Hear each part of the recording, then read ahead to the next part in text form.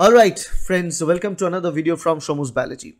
And in this video lecture, we are going to talk about another antibiotic mode of action, mechanism of action of cephalosporin. So what is cephalosporin class of antibiotics? What are the example of cephalosporin antibiotics? And how cephalosporin antibiotics work, mechanism of action of cephalosporin antibiotics, uses of cephalosporin as well as we'll be talking about the side effects of cephalosporin antibiotics. So let's begin. The first things first is the general properties of cephalosporin antibiotic. And the cephalosporins are class of beta-lactam antibiotics. So basically their mode of action will be similar to that of the penicillin class of antibiotic. Because penicillin was a type of beta-lactam antibiotics, right? So cephalosporin are a very common antibiotic that are used in variety of broad spectrum infections okay? So they are broad spectrum in nature. That means they are active against gram positive and gram negative bacteria and the spectrum of dosage can be applied against various kinds of bacteria okay? So that's a good thing about it. And we use cephalosporin nowadays even more often. Doctor use it even more often because uh, earlier the penicillin kind of antibiotics are getting resistant uh, so right now the cephalosporins are quite used originally derived from fungus acremonium which was previously known as cephalosporium fungus. So that's why the antibiotic's name is cephalosporin. Together with cephalosporin, uh, cephamycins, they constitute a subgroup of beta-lactam antibiotics called cephem.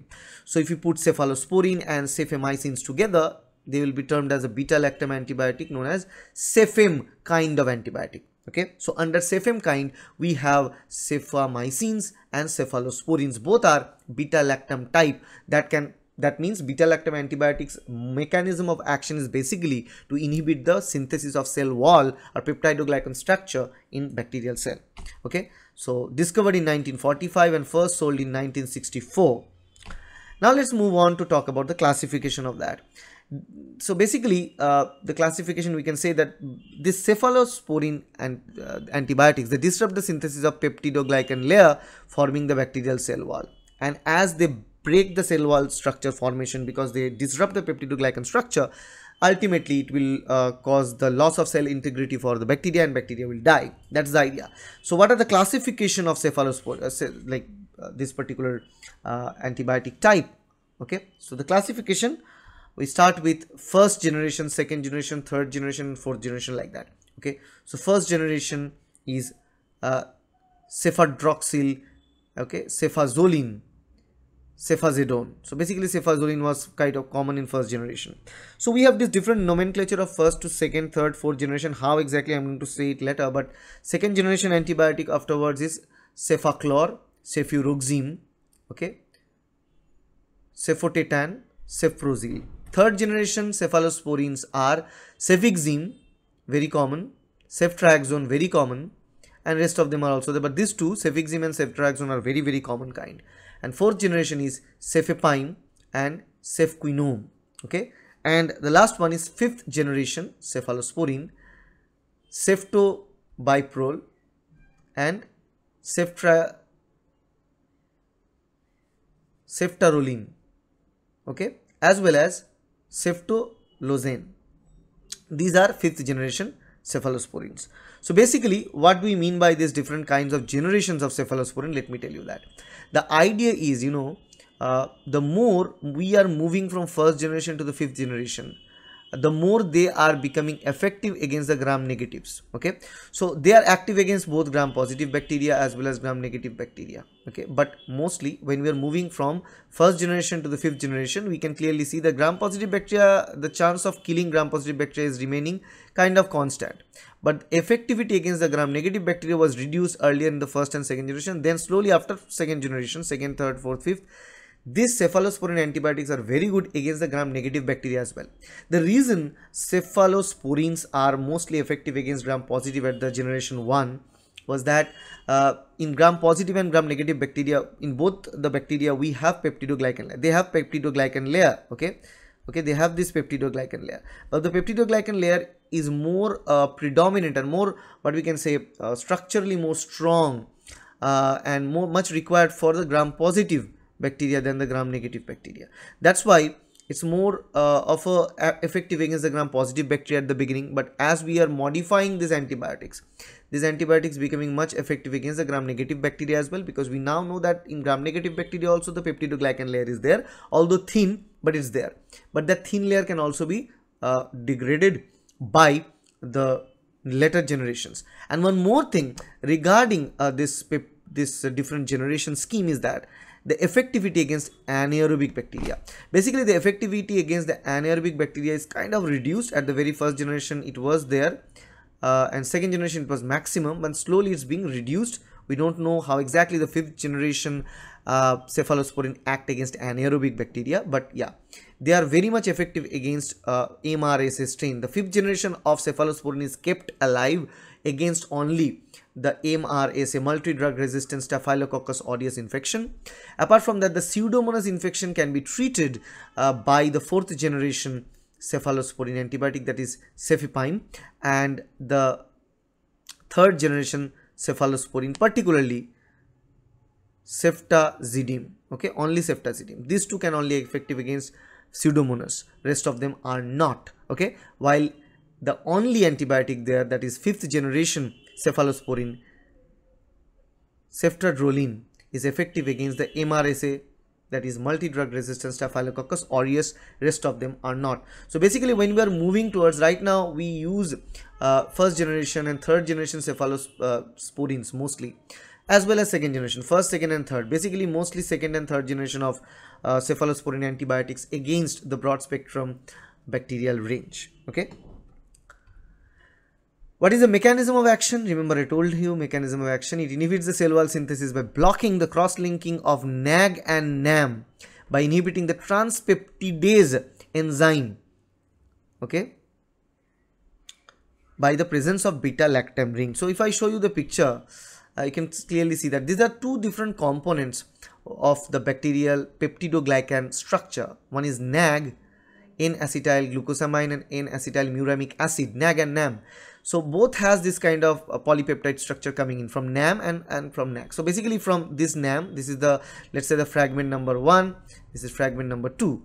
So both these fragments need to be connected together and this connection is known as cross-linking of peptidoglycan layer.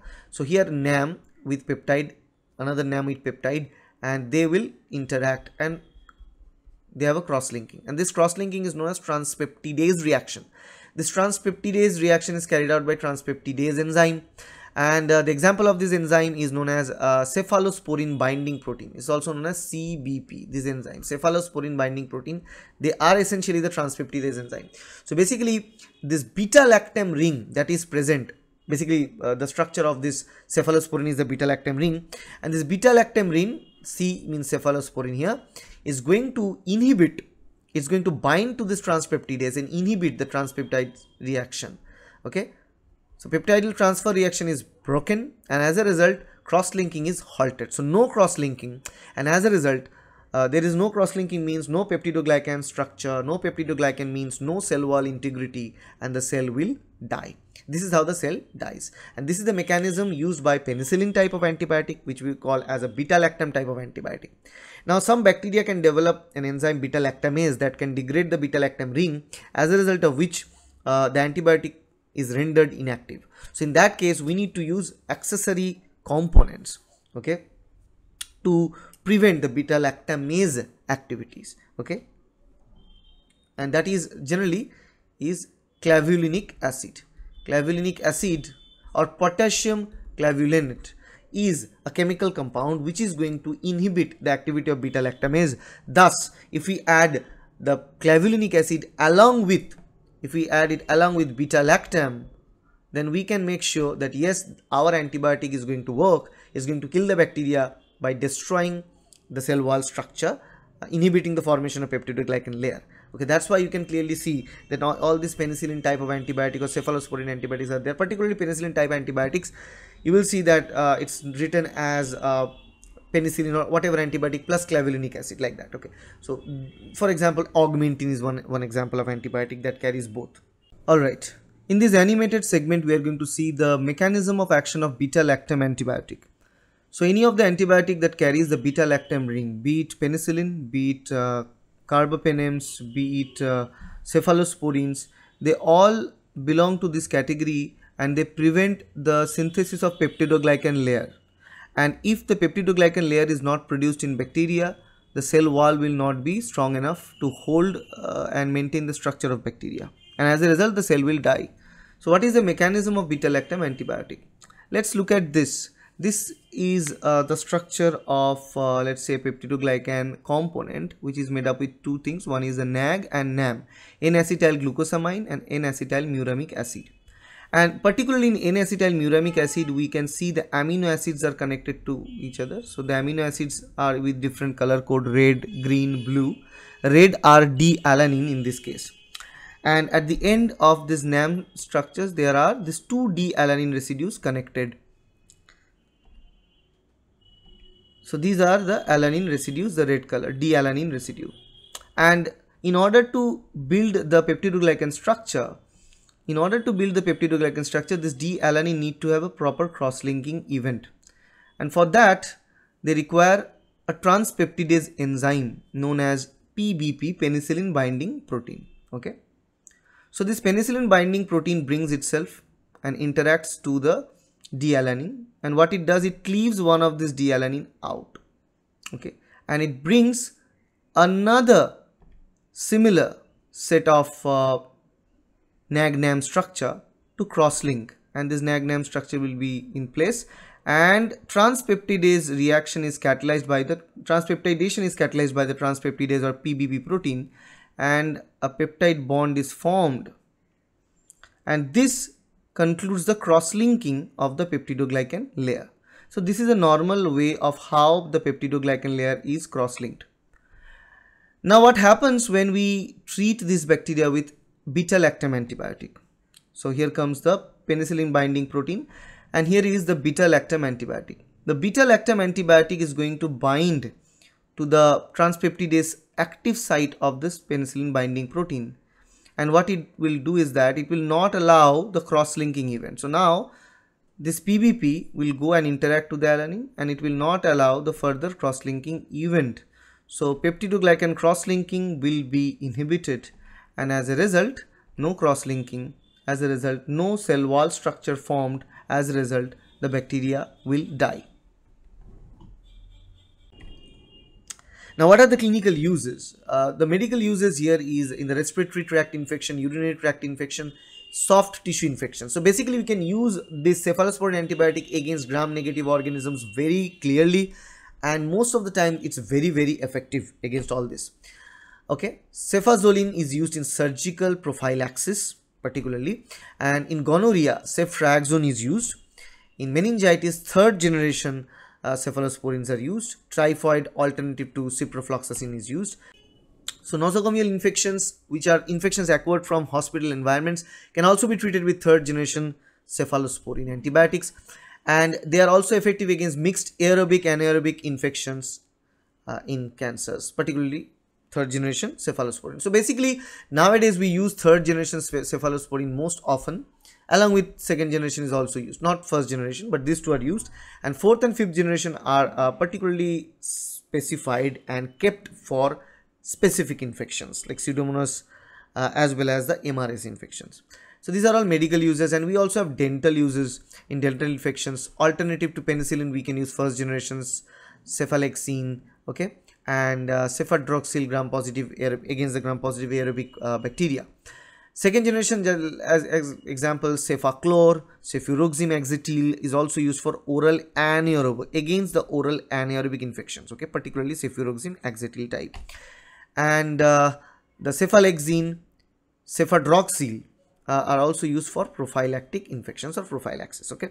So these are all the clinical uses of cephalosporin antibiotics. Now let's talk about the side effects of cephalosporin antibiotics. That leads to stomach upset nausea vomiting diarrhea yeast infection or oral thrush okay? As well as dizziness. And finally uh, the caution in pregnancy. This is something really important. The cephalosporin used in pregnant women may increase the likelihood of specific birth defect in the baby. One study found that use of cephalosporin antibiotic in early pregnancy may link to heart defects in a newborn baby. That is what's going on with cephalosporin antibiotics. So that is all about the cephalosporin antibiotic and basically we know it's effective against aerobics, uh, aerobic microorganism, anaerobic microorganism, and the different classification scheme of first generation, second generation, third generation, fourth generation, and fifth generation cephalosporin. We also talked about the role of third generation, fourth, and fifth generation cephalosporin, and we know the fifth generation cephalosporin antibiotic can go against MRSA. So these are all important properties. So if you like this video about the cephalosporin antibiotic mechanism of action and cephalosporin antibiotics detail, then hit the like button, share this video with your friends and subscribe to this channel to get more videos like that in future. Thank you. Bye.